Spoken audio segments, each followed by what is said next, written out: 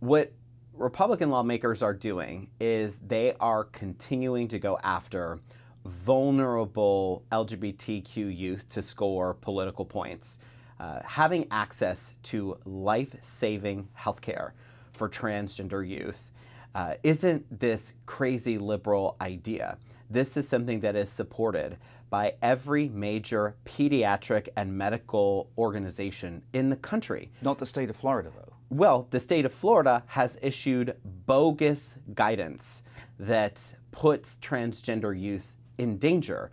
They put out bogus guidance that actually opposes even the ability of transgender youth to social transition. Social transi- transition is just using the appropriate pronouns, getting a haircut, uh, things that, I mean, are going to help trans youth be able to live comfortably in their skin uh, so that they can thrive and they can access the same positive educational environment so that they can get a quality public education as everyone else. Uh, Republicans like Randy Fine are bullying individuals and bullying LGBTQ kids in order to score political points. And I think it's disgusting.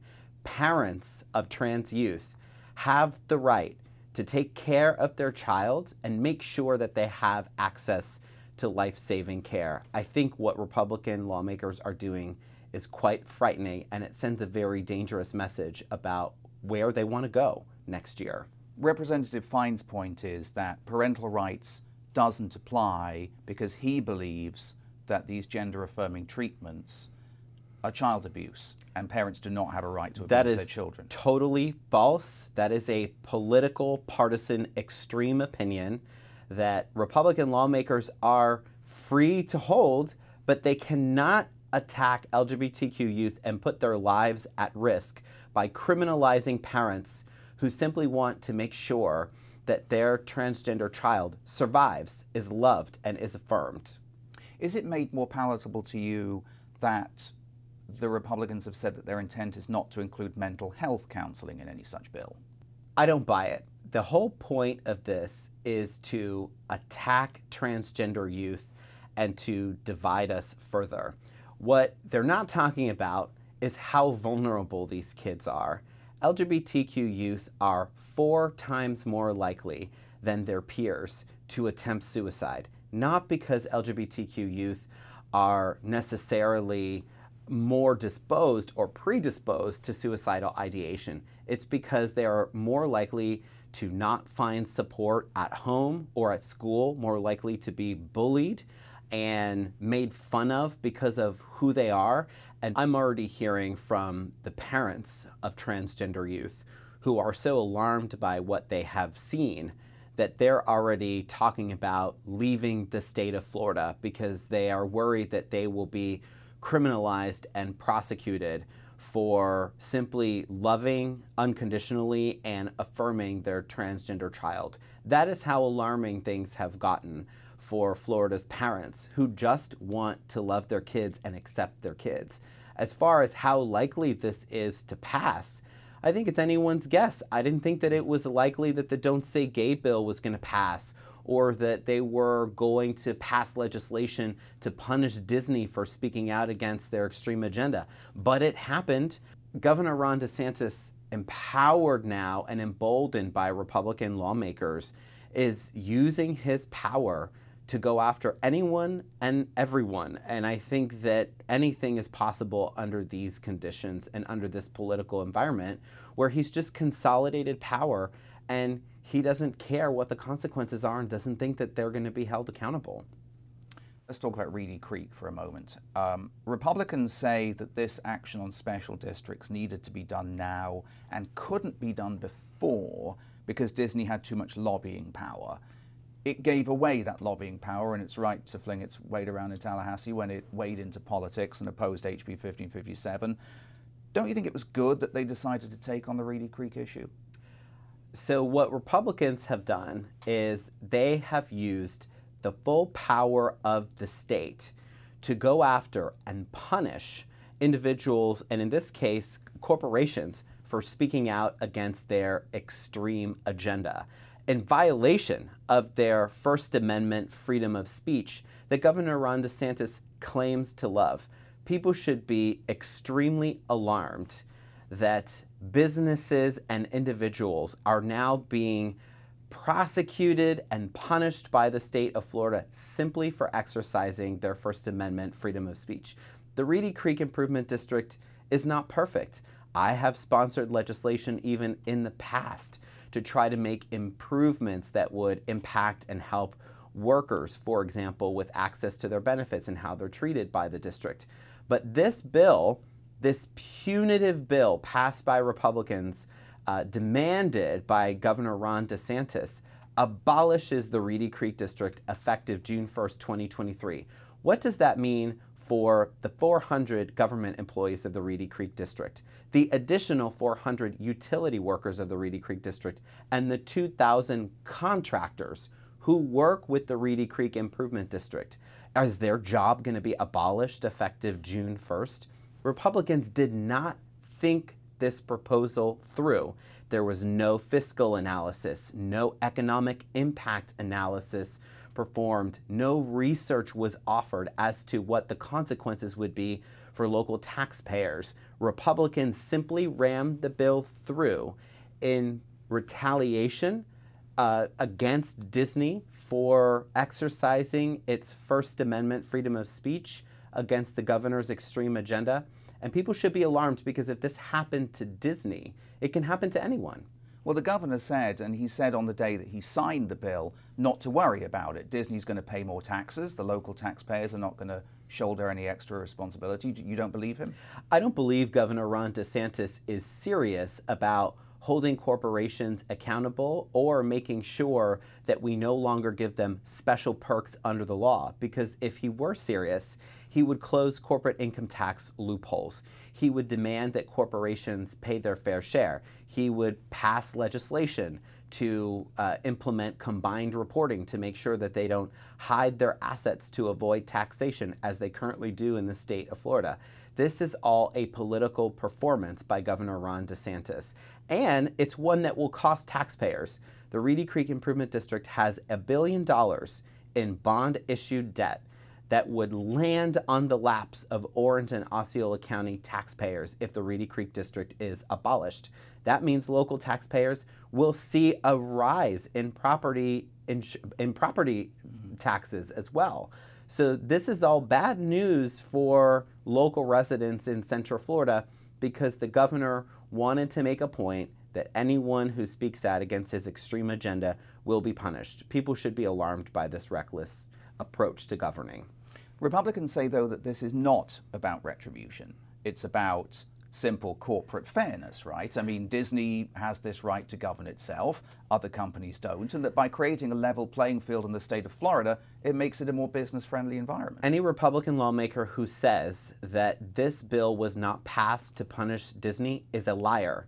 They had stated very plainly and very clearly up until the special session that if Disney continued to be a quote woke corporation, then they would make sure that they pass legislation to change their special status in law. They made direct threats, and even in the legislative committee, the only House legislative committee where this bill was heard, the sponsor of the bill, Republican Randy Fine, openly admitted that this was about targeting one corporation, the Walt Disney World Company on the record. He said it. Well, Randy Fine says your side is lying um, because the counties will now be able to extract more taxation from Disney. Disney's going to pay more taxes. The counties are capped in their ability to collect more impact fees and to charge Disney higher property taxes than they charge everyone else. The reason they're restricted in this way is because of laws that were passed by the legislature that ties the hands of local governments. What they are doing is they are having to backtrack and spin after it has been very well and widely reported that there are major consequences to this reckless legislation, and now they're in damage control mode on trying to convince voters and taxpayers that they won't be impacted by this reckless decision when they will be. Do you think this is actually going to happen? Do you think the legislature will come back and, and reapprove Reedy Creek? I don't know if Disney knows how this is all going to play out. All I know is that I'm getting calls mm. from employees of the Reedy Creek Improvement District, many of them being first responders, who are worried about the fact that the law now says their employer will be abolished effective June 1st, 2023. They have mouths to feed. They have bills to pay. They have a family that they need to support. What are we supposed to tell them about the governor's political retribution against one company for speaking out against his agenda and what it's supposed to mean for their families?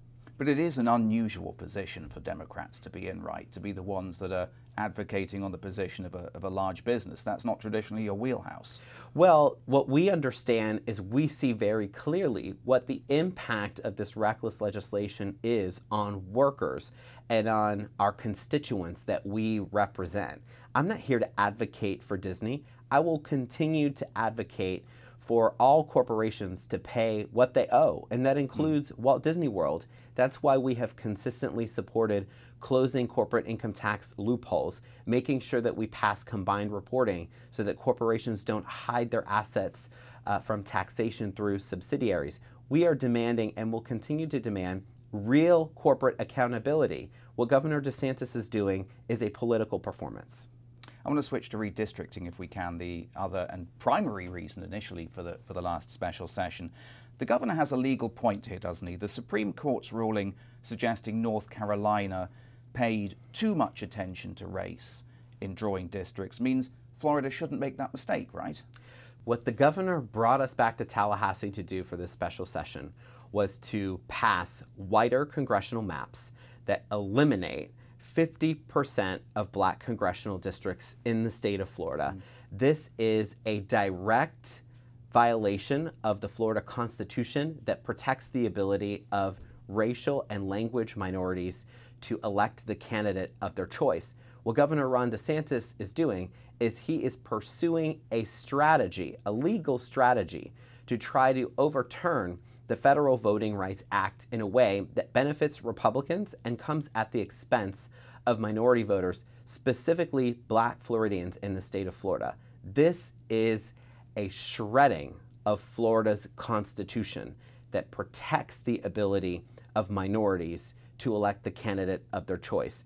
The fact that DeSantis and Republican lawmakers were so willing to shred the Constitution in order to consolidate their power should frighten every Floridian.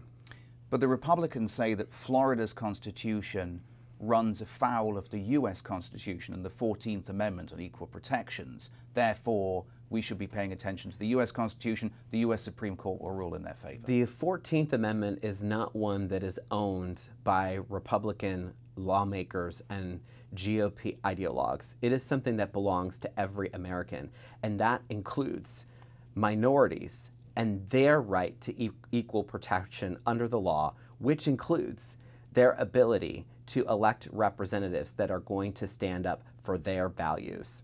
We have a constitutional obligation to not diminish the ability of minorities to elect the candidate of their choice. Those four black congressional districts, while they were not all majority black congressional mm-hmm. districts, those are the benchmark standards that were set in place by the Florida Supreme Court that are prohibited from being diminished under law in the ability of minority voters to elect the candidate of their choice. This is all about consolidating political power. This map was drawn by Governor DeSantis to give the Republican Party a substantial advantage over Democrats, which is a direct violation of the Fair Districts constitutional amendment. It was done to diminish the power of black voters in the state of Florida, which is also a violation of the state constitution, and it was all to help Governor DeSantis consolidate power as he plans to run for President of the United States. Let me ask you about how the special session wrapped up. Some of your colleagues on the other side of the aisle have, have called the protest by some Democrats on, on the House floor an insurrection or sedition. Why did you disrupt that democratic process? That is an insulting accusation. We House Democrats have a right to be in the House chamber. We were elected to serve our constituents. And I am proud of the members of the Black Caucus who are my colleagues who staged a peaceful sit in in the style of the late great Congressman John Lewis to protest the shredding of the state's constitution when Republican lawmakers rammed through this new congressional map that eliminates 50% of black congressional districts in the state of Florida. For Republican lawmakers to make a laughable and ridiculous claim that it was like the insurrection that resulted in the death of many individuals, that folks basically staged an insurrection, broke into the U.S. Capitol that they had no right in being in in the first place, I think is just the most offensive, uh, the most offensive way to characterize what happened. Well, Representative Fine told us that he thinks it was worse than January 6th because it prevented debate, any debate at all on those issues that you were talking about, whether it was uh, Reedy Creek or, or, um, or, or redistricting and they they were therefore forced to just go ahead without any their, discussion their, at all. Their their characterization of what happened on the House floor is laughable. It does not even pass the laugh test. This was a peaceful demonstration and sit-in in protest of Republicans shredding the Constitution and violating the rights of black Floridians. And they're upset because they were not able to pick up the microphone and debate. They rammed all of these bills through with little to no input from the public, and they shredded the Constitution. I am proud of House Democrats for standing up in the way that they did, and I stood with them in solidarity. I want to take a, a finally just a, a, big picture view of, of where we are in Florida. Um, Florida at the moment is a sort of vanguard for a lot of these policies that we're seeing kind of nationwide. And I wonder how you see the politics of our state at the moment. The governor is in a very powerful position at the moment. That's right. Well, and that's why we thought it was so important for us to take a stand uh, the way that we did with a peaceful sit in during the special session in opposition to this consolidation of power. I am frightened about the future of our state because I refuse to participate in these culture wars initiated by Republican lawmakers in order to score political points. I want to focus on the issues that matter to Floridians housing affordability, well, the, the cost of session, living, right? the cost of living. We're not addressing anything related to the rising rents that are happening in the state of Florida. And why didn't we do it this during the regular session? Because the regular session was dominated by uh, an extreme abortion ban, uh, homophobic and transphobic attacks on LGBTQ Floridians, uh, the creation of an elections police force to intimidate people out of using and exercising their right to vote. Um, Republican lawmakers are more interested in really their own political ambitions and serving the interests of their corporate donors than they are with addressing the real problems that Floridians are facing. The Democrats are going to have to do more than a sit-in, right? I mean, how do you get back to a position that's where right you can actually win elections? Exactly right. It's about making sure that we stay engaged with our communities, that we're bringing our message out where people are not receiving the message, and that they understand that Democrats are going to continue to stand uh, with those Floridians on facing the economic issues that impact them, making sure that we raise wages, making sure that we address the housing affordability crisis, making sure that we have more teachers to address the teacher shortage, which is not going to be helped by laws like Don't, Don't Say Gay and the Stop Woke Act. This is what Democrats stand for the freedoms of every Floridian to uh, make sure that they are healthy, prosperous, and safe. Representative Carlos Guillermo Smith, thank you so much. Thank you, Steve.